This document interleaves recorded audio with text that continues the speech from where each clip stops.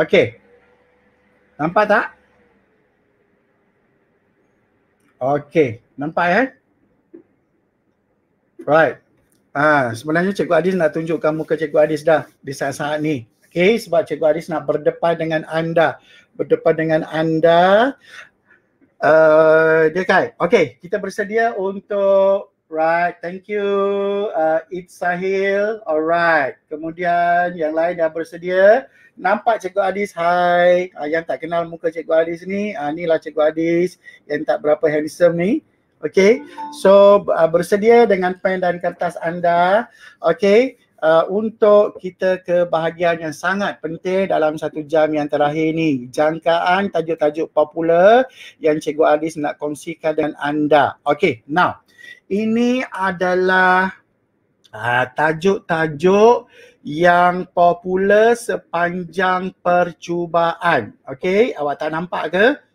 Uh, okay, nampak kan? Okay, Now, ini adalah antara tajuk-tajuk popular uh, sepanjang percubaan kertas dua ya uh, yang di uh, yang diadakan di sekolah seluruh Malaysia lah. Okey. Awak tengok kat sini Cikgu Adis dah berikan tema tujuh, tema lapan dan tema sembilan. Okey.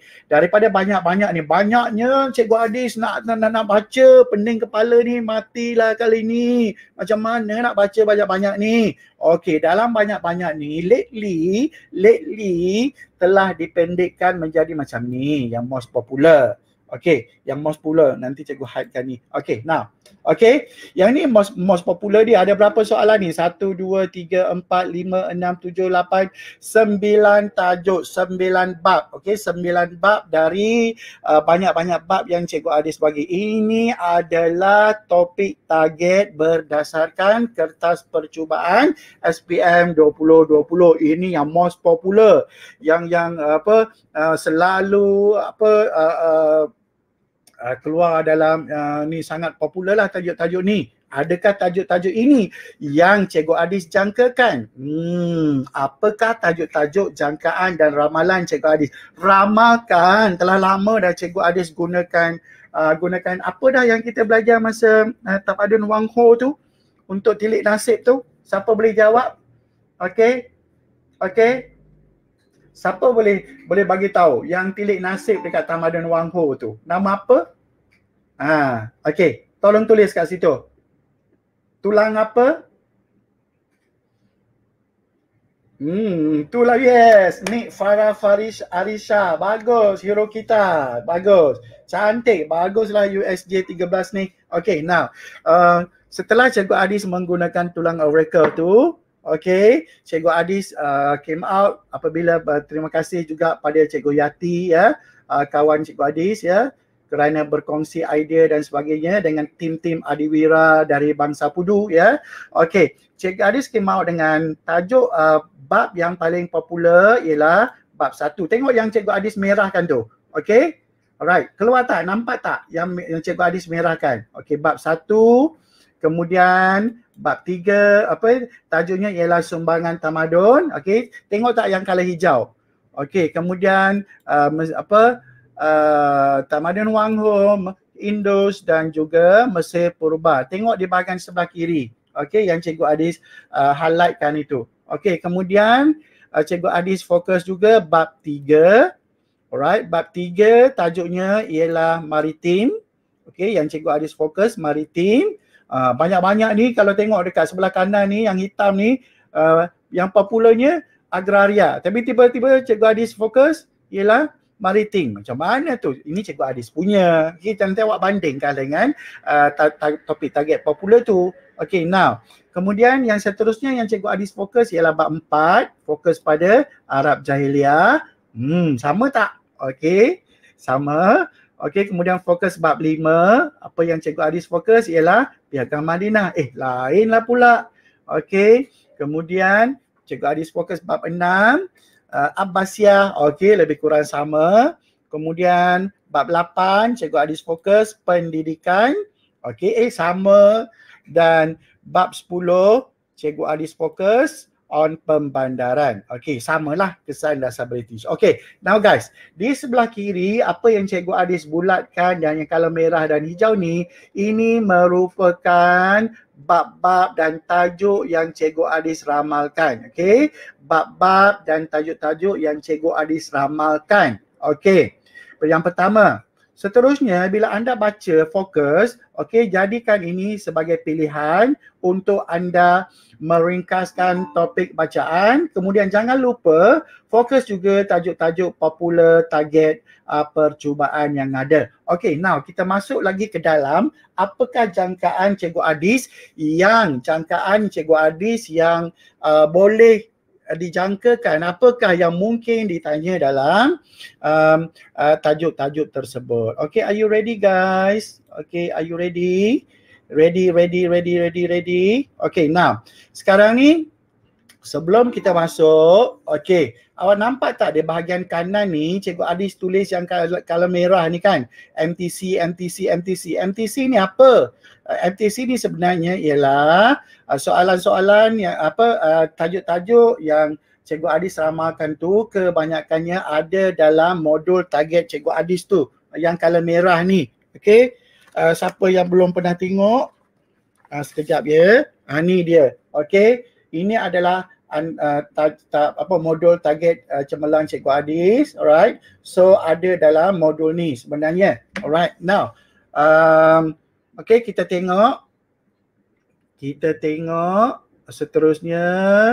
Kita tengok. Um, right. Apakah tajuk-tajuknya?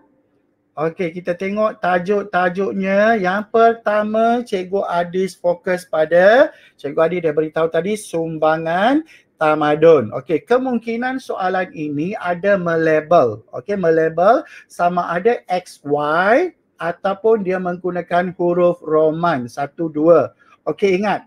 Okey tadi cikgu Adi sudah bagi tahu dah kalau melabel XY tu tak boleh tambah jawapan. Kalau uh, Roman satu dua tu boleh tambah jawapan tapi di bawah bukannya koma atau palang. Okey. Antara tajuk yang Cikgu Adis fokus ialah sumbangan tamadun. So mungkin dalam sumbangan tamadun tu mungkin ada Mesir Purba, mungkin ada Indus, Wang Ho. Alright. So awak fokus pada location, lokasi, ya, yeah, lokasi kemungkinan yang ada XY ataupun melabel. Alright, kemudian uh, masuklah uh, contoh dia uh, sumbangan uh, sebab kejayaan dan kebat-kebat yang sesuai dia. Uh, contohnya kat sini Mesir Purba uh, boleh fokus on topik uh, kepentingan warisan terhadap dunia moden. Nah, tadi yang Cikgu Adis dah beritahu tadi, uh, siapa yang ambil perhatian dia tahulah bagaimana cara nak jawab. Okey, kemudian uh, tamadun Indus fokus pada of course tajuk ni kebatnya mesti dia tanya tentang kepentingan sif, apa sifat keterbukaan okey kemudian Wang Ho dia tak ada benda lain dan dia mesti pertanian okey sebab ketiga-tiga tamadun ini berbeza sumbangan terbesar dia okey sumbangan terbesar dia berbeza okey now sekarang dah faham ya topik yang pertama yang Cikgu Adis fokus ialah sumbangan tamadun. Kenapa Cikgu Adis fokus yang ini? Kenapa? Sebabnya ialah sumbangan tamadun ni um, dia lebih umum. Bila umum, keluar salah satu daripada tamadun yang ada, insya-Allah anda boleh jawab dengan cantik dan ber, yang pentingnya markah penuh. Okay, markah penuh. Okay, now kita pergi pada tajuk yang kedua yang Cikgu Adis fokus ialah yang kedua uh, yang kedua inilah bab tiga tingkatan empat ya. Kita sekarang ni kita bincangkan yang tingkatan empat ya. Okey bab tiga fokus Cikgu Adis ialah maritim uh, fokus pada Kedah Tua atau Sriwijaya Sriwijaya tapi uh, besar kemungkinan Kedah Tua lah ya Okey, fokus pada maksud kerajaan maritim, lokasi kerajaan ataupun jenis-jenis pelabuhan. Okey, kat sini juga Cikgu Adis jangkakan akan ada XY, berlabel tu. Okey, right. Kemudian uh, kalau dia, uh, soalan tanya berkenaan dengan Kedah Tua, dia tak ada benda lain dia, dia mesti tanya tentang keistimewaan pelabuhan Kedah Tua. Awak tahu kan pelabuhan dia? Pelabuhan dia ada tiga kan? Okey, uh, pelabuhan tiga tu, apa ke benda? Uh, okay, uh, cuba tulis kat situ sikit. Uh, apa pelabuhan yang ada dekat Kedah Tua, uh, dekat-dekat kerajaan uh, maritim ni. Ya. Yeah. Okay, now. Okay, dah jelas yang tu guys, dah catat dah. Okey, kemudian tajuk yang ketiga ialah bab empat. Okey, bab empat iaitu of course uh, yang paling popular semua orang yang jangka tajuk ni ialah Arab Jahiliah. Okey, Arab Jahiliah awak uh, fokus pada apakah yang dimaksudkan dengan Arab Jahiliah atau ataupun uh, uh, okey ataupun mungkin soalan tanya kenapa uh, Arab Jahiliah tu digelar sebagai Jahiliah? Okey, uh, kenapa mungkin dia tanya uh, kenapa dipanggil zaman kegelapan? Okey, so awak fokus pada ciri-ciri Jahiliah. Okey, kemudian kita pergi pada uh, kebat dia kemungkinanlah uh, kaitannya dengan kaitannya dengan kaitannya dengan masyarakat Malaysia hari ini. Ada tak uh, masyarakat Malaysia kita ni ada ciri-ciri jahiliah? Uh, okay, so macam tu dan mungkinlah bagaimana cara nak mengatasi sifat-sifat tersebut. Okay, ini munasabah je knowledge ya, yeah? knowledge. Kalau keluarlah soalan ni, uh, Cikgu Adis yakin dan percaya anda akan dapat markah penuh ya sebab uh, soalan ni sangat mudah untuk dijawab. Alright, seterusnya untuk bab lima, Cikgu Adis lebih fokus pada piagam Madinah. Uh, piagam Madinah dia tak ada benda lain dah, dua benda je yang dia boleh tanya iaitu dari segi kandungan dan juga kepentingan. Kandungan dan juga kepentingan dia. Itu saja dua ni saja yang sangat popular. Nanti kita go through ya. Nanti kita go through sama-sama. Okey, kemudian kebat yang boleh ditanya of course lah berkenaan dengan mungkin berkenaan dengan pemerintahan yang sistematik. Mungkin dia boleh tanya tentang uh, per, kepentingan perpaduan dalam sesebuah negara majmuk ya. Uh, yang pelbagai kaum uh, seperti uh, Madinah dan juga Malaysia right bagaimana nak apply nak gunakan nak amalkan perpaduan itu di negara kita. Okey uh, tu mungkin soalan kebat di situ. Okey ada soalan nak tanya ada soalan nak tanya Okey, Ikhwan betul kerajaan Entreport. Okey, kerajaan Entreport, uh, pelabuhan kerajaan, pelabuhan pembekal. Bagus, bagus ya. Okey, now kita pergi pada yang keenam, bab enam, fokus pada tajuk Bani Abbasiyah. Semua dah salin ke? Dah salin ke? Okey, Bani Abbasiyah, kalau Bani Abbasiyah dia banyak cerita kan. Okey, fokus pada ilmu dia, bidang ilmu, bidang penterjemahan. Okey, fokus pada sumbangan Abbasiyah. Okey, so uh, senang cerita, awak fokus pada sumbangan kerajaan Abbasiyah. Okey, Of course lah kalau kalau tajuknya berkenaan dengan ilmu, keintelektualan, penterjemahan, kebatnya of course berkenaan dengan ilmu juga. Okey, bagaimana? Uh, kebat ni selalunya yang kaitan dengan negara kita, yang berkenaan dengan kita, anda sebagai pelaj- murid, ya, warga negara, okey, dan negara, okey, mesti berkenaan dengan negara kita. Okey, so bagaimana nak jadikan Malaysia ni sebagai pusat ilmu dan sebagainya lah.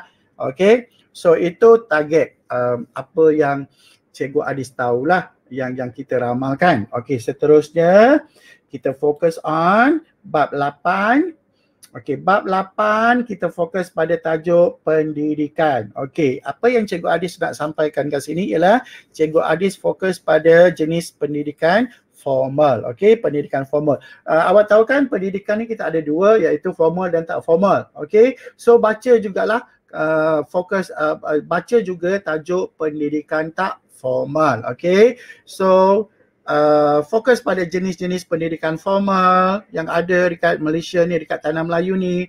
Kemudian bagaimana dia berkembang selepas kedatangan Islam. Awak tahu dah pada peringkat awal okey uh, Islam mempengaruhi pendidikan formal di negara kita eh sebelum kedatangan barat sebelum kedatangan British okey kita lebih fokus kepada uh, pendidikan ber, uh, keagamaan okey uh, keagamaan so kat situlah ada madrasah surau istana peranan-peranan tu kena baca okey dan kibatnya of course lah bagaimana cara nak uh, pendidikan contohnya bagaimana cara nak uh, pendidikan uh, anda ya um, nak mendapatkan pendidikan yang sempurna ataupun uh, kalau anda tak mendapatkan pendidikan apa jadi itu kesan dia. Okey semuanya kebat itu berkisar tentang pendidikan lah sebab tajuknya berkenaan dengan pendidikan.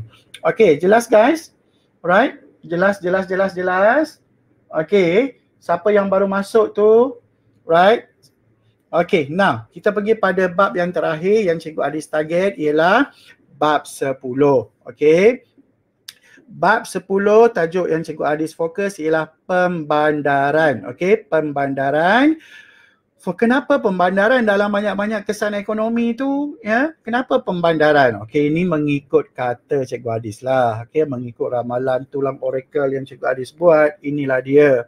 Okey, uh, nanti awak bacalah semua tajuk kesan ekonomi tu. Okey, fokus pada kegiatan ekonomi lah yang mewujudkan pembandaran. Okey, kegiatan ekonomi apa guys? Okey, kegiatan ekonomi contohnya uh, uh, lombong biji timah, kemudian minyak, uh, getah ke, apa ke, itu uh, maksudnya. Okey, dan faktor yang mempengaruhi proses pembandaran, itu maksudnya.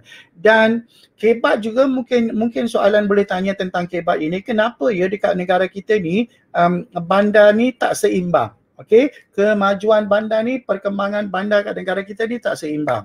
Kalau awak pergi dekat dekat, dekat, dekat kampung-kampung, bandar dia bukan ke bandar besar, dia bandar cowboy je.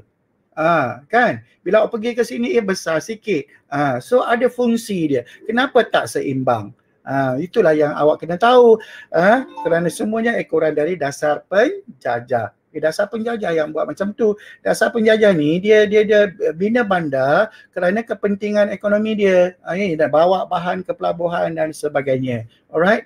Dan um, berlaku juga bandar ni tak seimbang dari segi kependudukan dia. Ha, orang Cina kebanyakannya tinggal dekat bandar. Orang Melayu kebanyakannya tinggal dekat kampung yang ada pekan-pekan cowboy tu. Okay. Kemudian uh, uh, orang India ada dekat ladang-ladang, uh, tinggal dekat pekan cowboy juga dengan orang Melayu. Uh, itu maksudnya kenapa berlakunya tak seimbang? Sebabnya ialah dasar penjajah dulu. So kena belajarlah uh, baca sikit berkenaan dengan uh, dasar penjajah tu, pecah dan perintah tu. Okay, now. Jelas ya, ini adalah ramalan Cikgu Adis berkenaan dengan um, kertas dua. So now, ada soalan nak tanya? Ya, betul. Bagus ya. Betul. Baguslah korang ni. Alright. Okay, nah jelas ya. Okay, ini sekadar ramalan Cikgu Adis. Okay, so selain daripada tajuk-tajuk yang Cikgu Adis berikan ini, anda juga boleh membaca tajuk-tajuk lain yang Cikgu Adis beritahu tadi yang popular dalam percubaan anda. So anda boleh baca juga tajuk tu ya. Jangan harapkan ramalan. Okay. Nanti ramalan tinggal ramalan. Ramalan yang uh, tak benar belaka. Ini sekadar. okay.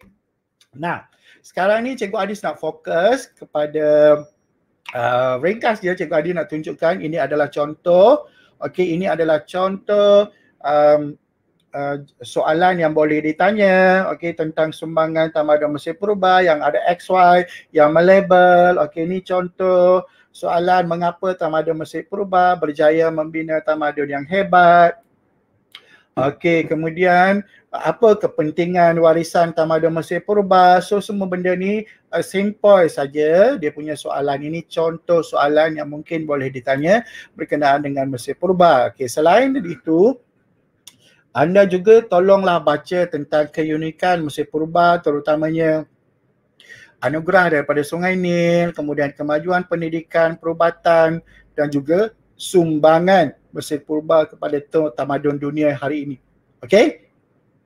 So, baca juga pencapaian, pencapaian Malaysia yang dibanggakan ya. Okay, now Kemudian tamadun Indus mungkin juga melabel, dia labelkan bandar terancang, Mohenjo-Daro dan Harappa. Ingat jangan confuse kedudukannya.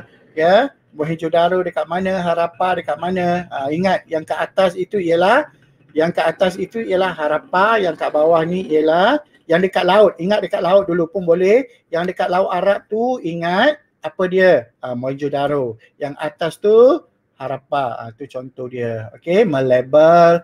Okey kemudian juga mungkin uh, dia tanya soalan ciri-ciri bandar terancang. Ini semua awak dah tahu dah.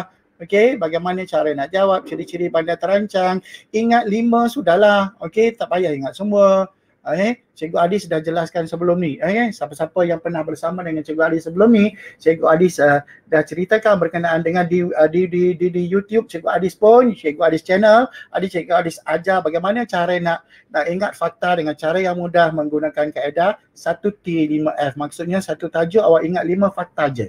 Uh, okey? Right Okay, so Uh, kemudian mungkin sumbangan tamadun Indus, kepentingan sifat keterbukaan ini yang Cikgu Adis dah bagi tahu sebelum ni. Okey. Kemudian baca juga tajuk-tajuk lain keunikan seni bina, kemudian perbandingan antara bandar terancang Indus dan juga Malaysia, kemungkin juga ditanya ya. Mungkin dia tanya, uh, bandar terancang dekat Malaysia ni mana? Uh, okay, siapa tahu? Dekat mana ada bandar terancang kat Malaysia ni? Uh, mungkin awak kata Putrajaya, eh Uh, so awak bandingkanlah sama tak ciri-ciri uh, Putrajaya dengan uh, ciri-ciri bandar terancang yang ada uh, dekat apa uh, Mohenjo-daro Harapan tu. Uh, okay, right. Kemudian bab dua uh, seterusnya ini uh, sumbangan uh, Wang Ho, bab satu ya, sumbangan Wang Ho dalam bidang pertanian. Kemudian uh, okay, kesan kemajuan bidang pertanian kepada dunia ya kita pun belajar daripada tamadun Wang Ho. Walaupun negara kita banyak mengimport ya tapi sekurang-kurangnya adalah benda yang kita uh, buat untuk pertanian. Sebab kita adalah negara pertanian ya bukannya ke arah ya. Kita ke arah negara maju negara perindustrian ya. Uh, tapi kita mengamalkan pertanian ya. Alright now. Kemudian uh, langkah memajukan pertanian negara ini selalu ditanya dalam soalan ada soalan kebat lah ya berkenaan dengan mana-mana uh, soalan yang berkaitan uh, tajuk yang berkaitan dengan pertanian. Of course dia tanya tentang pertanian uh, dalam kebatnya okay right. Selain itu baca juga tajuk-tajuk yang lain. Contoh kebatnya pertanian sebagai satu industri. Who knows kan Okay, bersedia dengan soalan-soalan kebat macam tu. Bagaimana nak jadikan sebagai uh, pertanian itu sebagai satu industri? Industri itu maksudnya ialah kerjaya yang betul-betul menjadi kerjaya. Uh, yang yang yang yang memberikan satu pendapat pendapatan yang lumayan yang luar biasa uh, kepada petani moden. Kita panggil petani moden. Petani moden maksudnya ialah petani yang ada ilmu berbeza dengan petani tradisional. Okey kalau petani moden tu dia belajar bagaimana nak nak nak, nak gemburkan tanah, bagaimana nak supaya pokok tu tak mati ya, ada biji benih yang berkualiti, ada baja yang berkualiti dan sebagainya. Itu maksudnya petani moden yang menjadikan sebagai pertanian sebagai satu industri. Okay guys, kemudian kita pergi pada bab tiga. Okay, pelabuhan Kedah Tua, pelabuhan Kedah Tua, ah, Cikgu Adis kata mungkin juga melabel, okay, mungkin juga melabel. Right uh, ini adalah uh, berkenaan dengan pelabuhan lah eh awak jangan awak jangan salah label pula. Nanti X tu awak kata Sriwijaya Y tu awak kata Kedah Tua. Takkan Kedah Tua duduk kat Sumatera kot. Uh, so itu dia. Jangan salah label. Dan kalau XY ni ingat Cikgu Adis dah beritahu before eh tak boleh tambah jawapan. Okey ini contoh. Alright, kemudian uh, Cikgu Adi sudah kata tadi mungkin ada bezakan, bandingkan ataupun persamaan. Okey, kalau tak boleh jawab dalam bentuk jadual macam ni, tolong jawab dalam bentuk uh, esei yang lengkap dengan menggunakan perkataan manakala untuk membezakan kedua-duanya. Okey, macam mana cara nak jawab soalannya? Soalan ni, awak beza kalau terus, uh, contoh Cikgu Adi letak kat sini, contoh dia lah. Okey, contoh dia, Uh, pelabuhan kerajaan ialah pelabuhan pembekal yang berkembang menjadi pelabuhan kerajaan apabila pertempatan berkembang menjadi negeri. Okey, uh, ni gunakan manakala lah ya. Pelabuhan dengan itu pun boleh juga tak ada masalah ya. Pelabuhan kerajaan juga berperanan sebagai pusat pentadbiran. Okey, manakala uh, untuk bandingkan ni pelabuhan entrepot apa? Itu uh, maksudnya bandingkan terus ya dengan sifat yang sama okay, dengan sifat yang sama. Kalau contohnya yang ni ya, uh, contoh yang ni. Kalau ciri peranan, okay, awak bandingkan terus dengan ciri yang sama. Kalau ciri pedagang, awak apa mesti ciri yang sama. Itu uh, maksudnya. Okay, bezakan macam tu supaya awak tak hilang markah. Okay, kemudian Seterusnya uh, pelabuhan apa istimewanya kerana apa pelabuhan Kedah Tua. Okey faktor perkembangan dia, kemajuan dia. Okey baca juga tajuk-tajuk yang lain contohnya ciri-ciri kerajaan maritim. Okey kemudian uh, kalau kebatnya mungkin soalan tanya tentang faedah Malaysia sebagai kerajaan maritim yang ada pelabuhan mungkin juga bagaimana nak tingkatkan pelabuhan negara kita okey uh, macam tu Okay, now kita pergi pada Sriwijaya. Um, sama je lah dengan pelabuhan Kedah tadi, dengan Kedah tadi. Okay, kita teruskan aja ya. Uh, kita tak ada masa untuk tingkatan lima. Kita ada setengah jam saja lagi ya. Sebab lepas ni awak nak makan kan. Tak ada masa dah nak nak nak belajar dengan Cikgu Adis kan. Semua dah lapar nanti, dua belas setengah ya. Okay, now kita pergi pada Okay, bab empat. Okay, bab empat contohnya masyarakat Arab Jahiliah. Okay, Uh, mengapa masyarakat tersebut digelar sebagai masyarakat Arab, Arab Jahiliah ataupun masyarakat yang berada dalam zaman kegelapan. Okey, inilah antara jawapan yang mungkin anda boleh tanya. Okey. So guys, sangat mudahlah. Eh, sangat mudah. So yang pentingnya anda kena ba ba ba ba baca. Kalau tak baca, you lost everything. Okay, now. Kemudian B, mungkin dia tanya tentang PES. Okay, Right, cikgu dah ajar dekat sekolah kan? Ciri-ciri ke, kesan ke, sebab ke, mesti PES. PES tu apa? Bukan PES yang masak tu. PES ialah politik, ekonomi, sosial. Kena ingat tiga tu. Okay?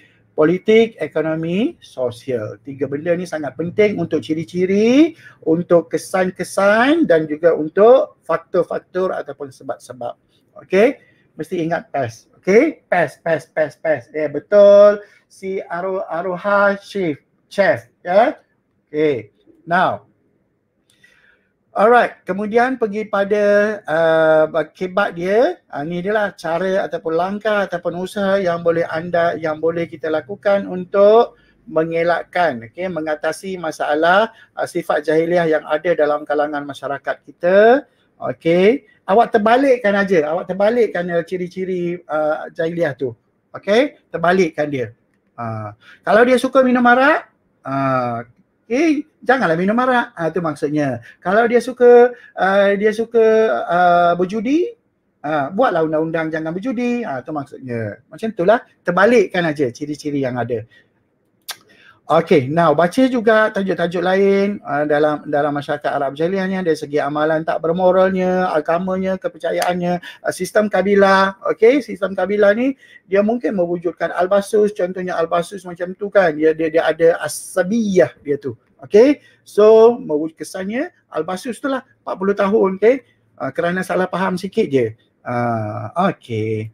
Now kita pergi pada now kita pergi pada uh, ini cara menjawab lah carangan saya bagi membasmi sifat jahiliah. Okay macam itulah contoh dia cara ataupun langkah usaha. Okay kita pergi pada piagam Madinah. Piagam Madinah of course kandungan mesti ada PES punya. Okay kandungan pun mesti ada PES okay politik ekonomi sosial sosialnya sosialnya mungkin dari segi cara hidup okey eh cara hidup pula.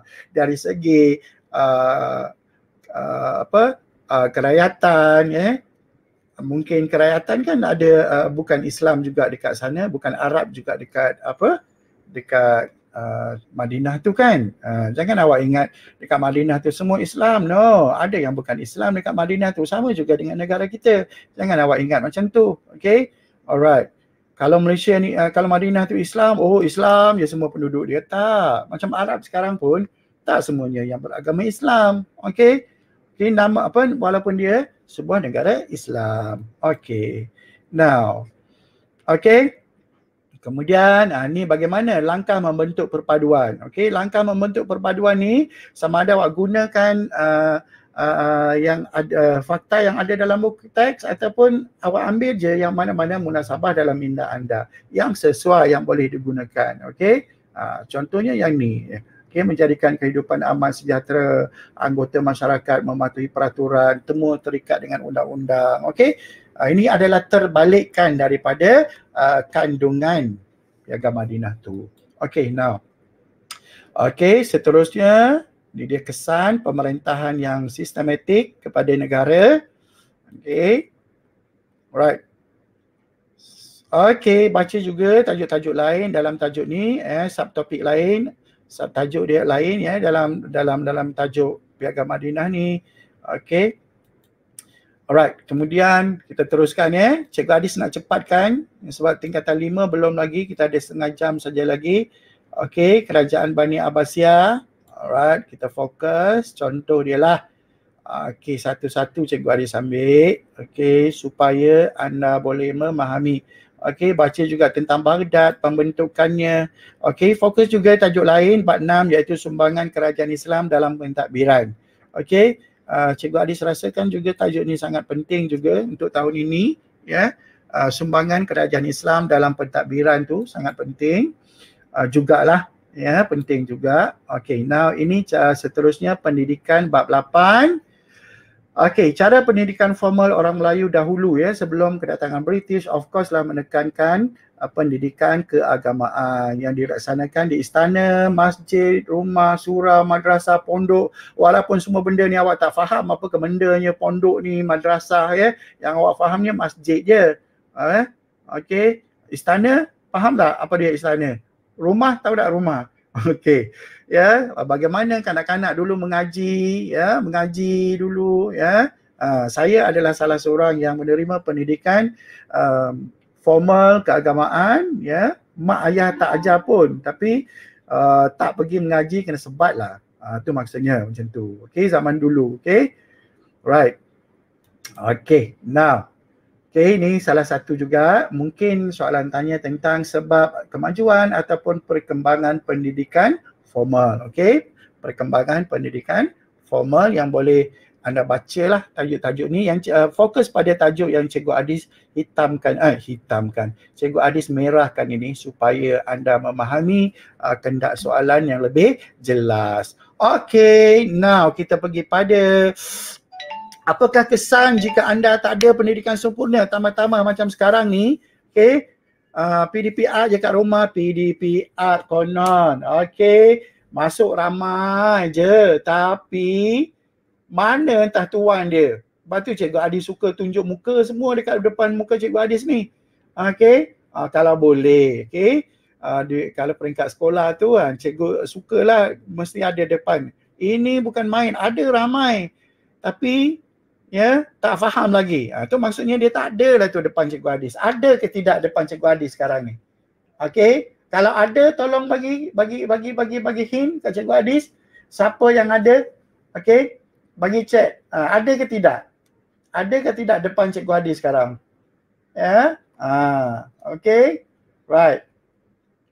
Okay, nah selain pada tu baca juga tajuk-tajuk uh, pendidikan formal yang lain sepertinya pendidikan madrasah, okay, persamaan pendidikan Islam di Malaysia, okay, uh, yang yang yang dulu dengan sekarang ya. Okay, kemudian um, uh, pendidikan tak formal baca juga dari segi maksudnya cara macam mana pendidikan tak formal dilaksanakan dan juga uh, kebatnya mungkin boleh tanya tentang uh, kepentingan ialah Okey, kesan. Okey, ini melibatkan berkenaan dengan education. Okey. Alright. Now, kemudian kita pergi pada ah ini cara menjawab lah. Okey, sama saja. Alright, now kita pergi pada tajuk yang terakhir untuk form 4 ialah bab 10. Cikgu Adis fokus tadi.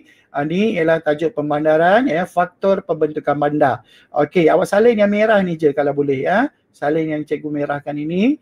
Okey, faktor pembentukan bandar mungkin boleh tanya kenapa sebab ada kegiatan Cik Adir beritahu mungkin ada kegiatan perombongan ke, mungkin ada kegiatan uh, petroleum, uh, biji timah petroleum ataupun ya pelabuhan. Okey, uh, itu maksudnya. Okey. Okey, now kita pergi pada mungkin juga soalan boleh tanya tentang ini ya. Uh, faktor yang mempengaruhi proses pembandaran kat Tanah Melayu ni Okey, selain daripada itu baca juga tajuk-tajuk lain. Uh, apakah yang dimaksud dengan pemandaran? Apakah faktor kemunculan Kuala Lumpur? Uh, siapa yang berada di Kuala Lumpur sekarang ni ataupun di Lembah Kelang ni faktor kemunculan bandar-bandar yang berdekatan dengan anda. Okey, dan soalan kebat mungkin juga uh, mungkin soalan tanya uh, anda sebagai seorang uh, arkitek bandar pada waktu tu ya bandar macam mana yang awak nak bina? Uh, macam tu. Itu imajinasi. Okey? Okey. Nah kita teruskan ya. Right. Hmm. Habis. Tingkatan empat. Okey ready guys untuk tingkatan lima uh, tajuk-tajuk tingkatan lima. Are you ready? Setakat ni